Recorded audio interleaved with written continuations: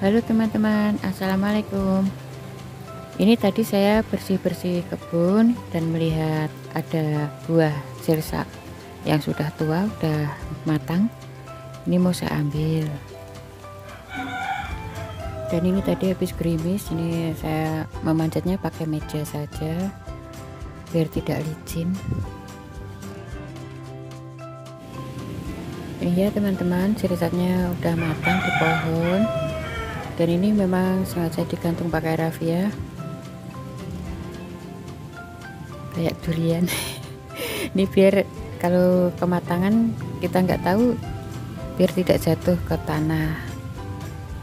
Karena menurut pengalaman yang tidak ditali pakai rafia kalau kematangan bisa jatuh ke tanah dan nggak bisa kemakan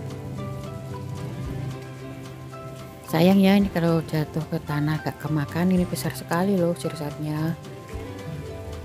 Ini sirsat yang paling besar yang pernah saya temui di pohon ini.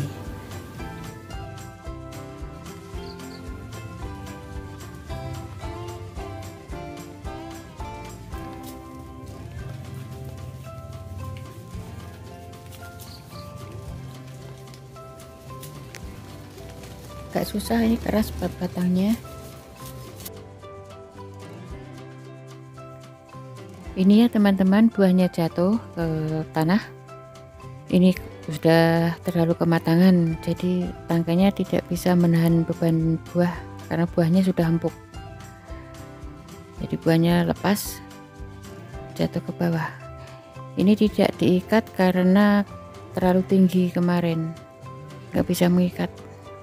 Kalau diikat nggak akan jatuh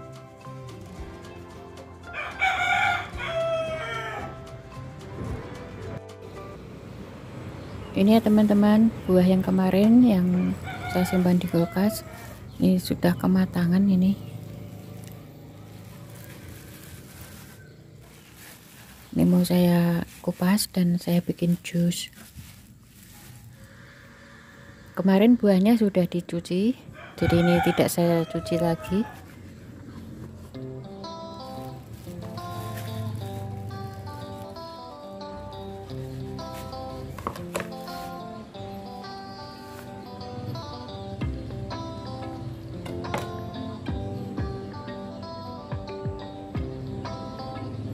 ini nggak bisa dikupas ini karena sudah terlalu matang.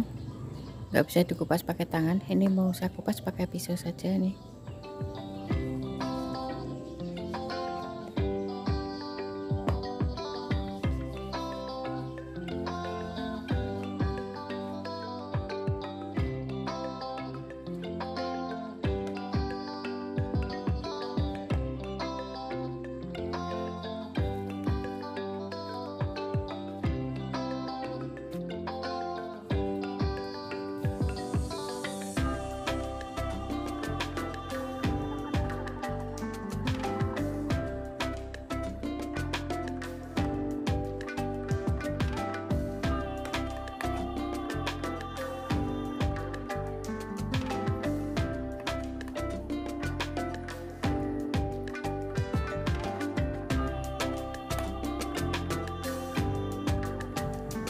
pisaunya harus benar-benar tajam. Kalau kurang tajam agak susah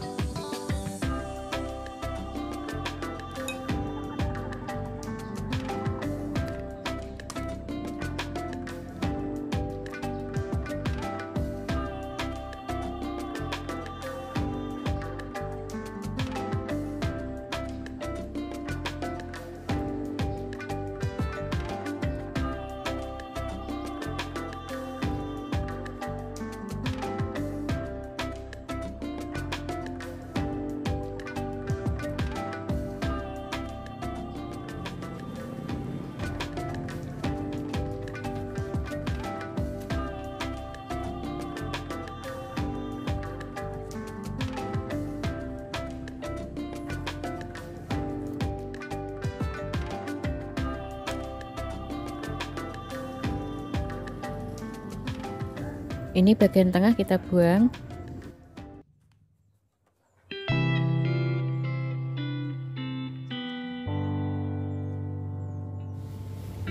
Masih kelewatan ada bijinya nih kita buang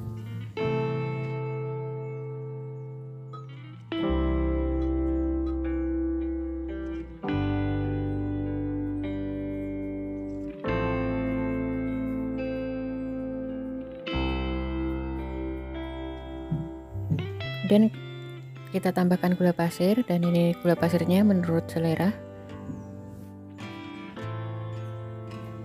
Dan untuk penambahan airnya juga menurut selera. Ini akan saya buat kental saja biar lebih enak. Tapi kalau untuk dijual agak encer biar bisa dapat untung yang banyak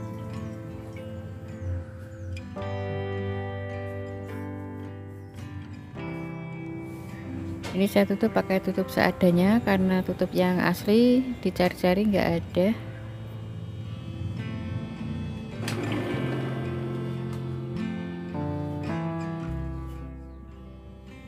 Kita tuang ke dalam gelas yang sudah diberi es batu. Dan ini jusnya sangat kental ya tapi ini sangat enak kalau kental. Tidak saya saring ya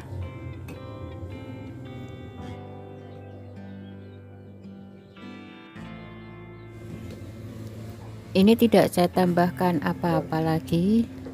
Langsung jus asli buah sirsat. Seperti ini penampakannya. Ini sangat enak. Ada asamnya dan manis. Segar deh. Apalagi kalau diminum siang hari pada saat cuaca panas. Oke teman-teman. Demikianlah cara saya membuat jus sirsat. Terima kasih sudah menonton. Assalamualaikum